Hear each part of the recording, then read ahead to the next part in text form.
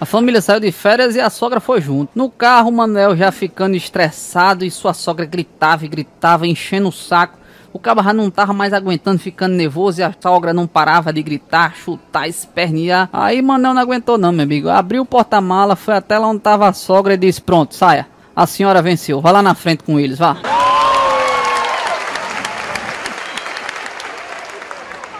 A sogra de um cabo morreu, rapaz. Aí chegaram pra ele e disseram: E aí, o que, é que o senhor quer que a gente faça? Que a gente enterre ou que a gente creme? O cabo disse: Rapaz, é melhor fazer as duas coisas, né? Você sabe que a gente não pode facilitar pra esses negócios de sogra.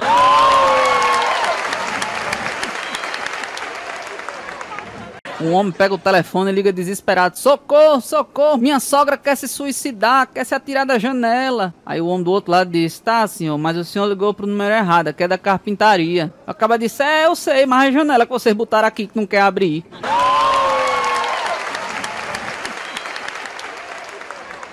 Tinha dois amigos conversando, um chega pro outro e diz assim: Você sabe qual é a diferença entre a catástrofe e a tragédia? Aí ele diz: Não, não sei não. Ele disse: É que a catástrofe é quando a sua mulher vai com a família fazer um cruzeiro pelo Atlântico e o navio afunda. E a tragédia é quando você fica sabendo que o único sobrevivente foi sua sogra.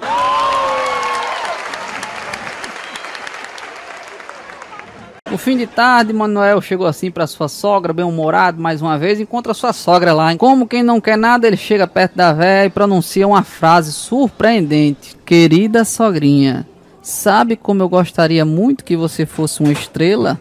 Ela fica toda contente, né? Toda abestalhada e diz: Nossa, quanta gentileza, meu genro. Por que motivo você está falando isso? Ele disse: É porque a estrela mais próxima de mim está a milhões e milhões de quilômetros de distância.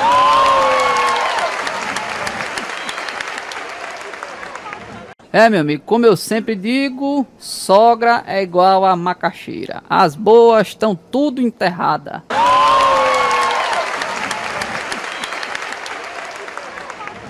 Um cara chegou na delegacia e disse: Eu vim da queixa.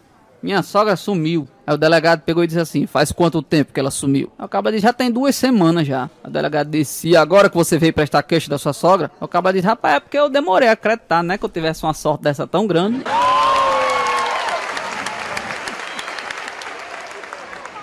O homem chega pro delegado e conta o drama que ele viveu. Aí ele disse assim: Pois é, doutor, minha mulher pediu pra eu ir com minha sogra, né? Fazer as compras. Eu tava caminhando com ela a pé e tal, numa travessa um pouco movimentada, quando apareceu um rapaz. Devia ser drogado, né? Ou ser um vândalo, e começou a bater na minha sogra, sem motivo nenhum. Ele bateu, minha sogra caía no chão, ele continuava chutando, chutando. Aí o delegado disse: O rapaz estava armado? Aí ele disse: Não, doutor. Aí o delegado disse: Ele era forte. Ele disse, ela tá meio maguinha, né? Meio magricela assim. Minha sogra já é idosa. Aí o delegado disse, eu não consigo entender como é que o senhor vê um homem agredindo sua sogra, o senhor pode permanecer de braço cruzado, né? Aí o cara disse, pois é, doutor, eu até tava com vontade de fazer alguma coisa, mas... Mas o quê? Mas eu achei que duas pessoas batendo na véia ia ser covardia, né?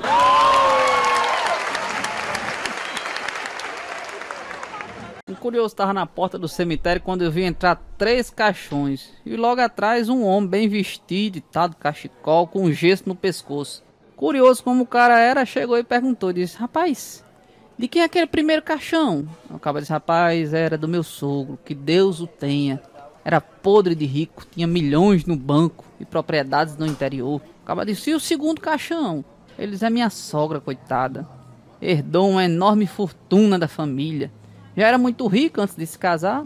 Aí o caba disse: e no último caixão, quem era? Ele disse: era minha mulher, que descanse em paz. Filha única, herdeira única. Coitada, morreu.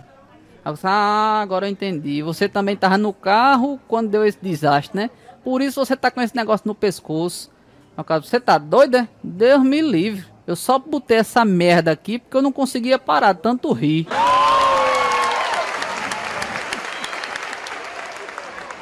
A esposa entrou no escritório do marido com a mãe de lado e disse: Querido, é verdade que o seu sócio acabou de morrer? Aí o caba disse: É verdade, sim. Por quê? Ela disse: Você pode botar a mamãe no lugar dele? O caba disse: Rapaz, fale com o coveiro lá, que por mim pode botar.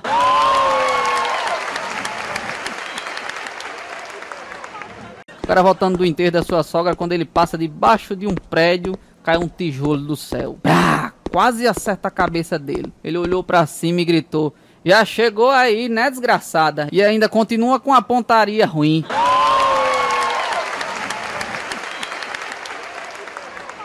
Outro dia um sujeito chegou na minha casa batendo lá, pedindo uma contribuição para o lado dos idosos. Perguntou se eu podia contribuir. Eu disse, claro, peraí que eu vou buscar minha sogra.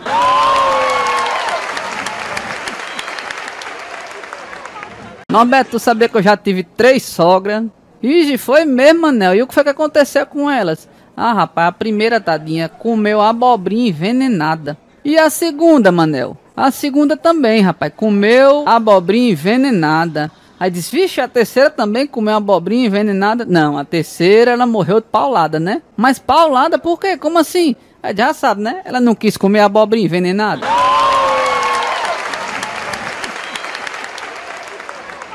Num dia de chuva, com raios e trovões, Norberto, você sabe qual é o lugar mais seguro para se abrigar? Mas é lógico, mano, é só você ficar perto da sua sogra do seu chefe, né? Porque não tem raio que o par.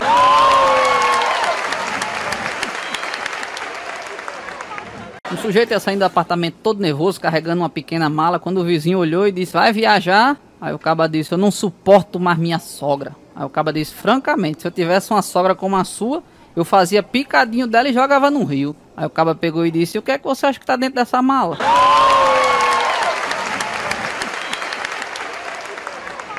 Um certo dia a sogra bate na porta do genro de malicuia. O homem vai atender e fica surpreso com a visita. A sogra está em reação e diz: Por que essa surpresa? Minha filha não falou para você não que eu vinha passar férias aqui com vocês? Aí o caba disse: Sim, falou, mas eu pensei que era só ela fazendo um susto pro meu soluço passar.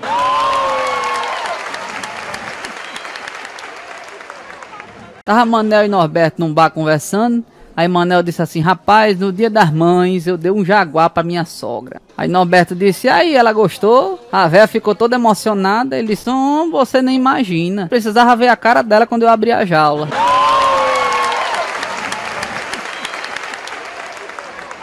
Outro dia eu tava dentro do banco, chegou um rapaz para fazer um assalto, praticar lá os seus atos criminosos assaltou o banco. Quando ele ia saindo, ele viu um cara na porta e disse: Você viu alguma coisa? Aí o cara disse: Vi. Aí ele pegou e atirou no cara. Prá! Matou na hora. Eu fiquei assim olhando assustado para ele. Ele olhou para mim. Aí disse assim: E você viu alguma coisa? Eu disse: Eu mesmo não vi nada. Agora quem viu foi minha sogra.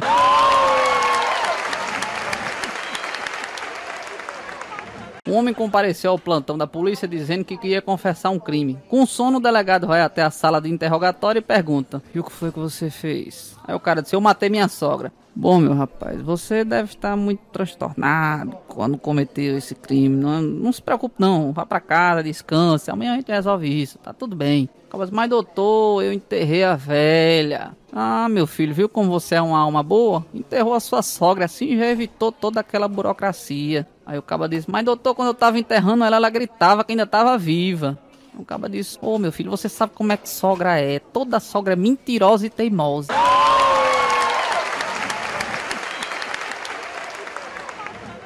A sogra e o genro nunca se deram bem, mas um belo dia ele deu um saco de manga para ela. Espantada, ela pergunta: Você nunca me deu nada, por que você me deu isso? Aí o genro respondeu: É porque eu sempre tive curiosidade de ver como é o cão chupando manga.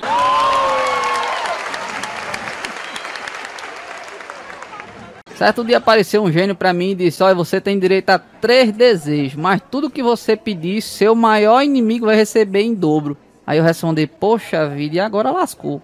Meu maior inimigo é minha sogra. Aí eu peguei e disse, eu quero uma BMW turbinada. O Gênesis, pronto, agora sua sogra tem duas. Aí no segundo desejo eu disse, eu quero um milhão de dólares.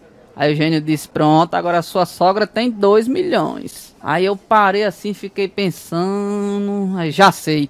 Eu não posso deixar aquela jararaca da minha sogra se dar bem. disse, seu gênio, o meu terceiro pedido é que o senhor me dê uma surra que me deixe meio morto.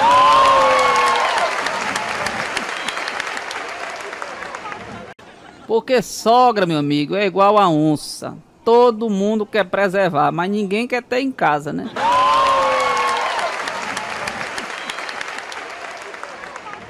Rapaz comentou com outro: Rapaz, eu vi um grande desperdício ali. Um apageiro virou com seis sogras dentro e todas morreram. E o rapaz disse: Qual foi o desperdício? Aí eu disse, uma pajeta dessa cabia no mínimo umas 15. Mano.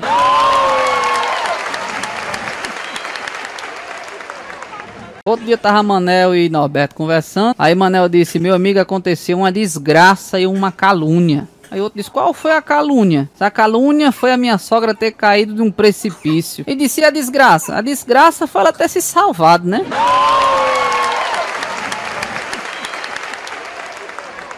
A sogra foi para casa da sua filha de mala e cuia. Chegou lá, deu de cara com o genro que perguntou: O que é que a senhora veio fazer aqui? Ela pegou e respondeu: Eu vim ficar aqui até você não aguentar mais, tá bom? Aí ele disse: Vige, você já vai, não vai tomar nenhum cafezinho.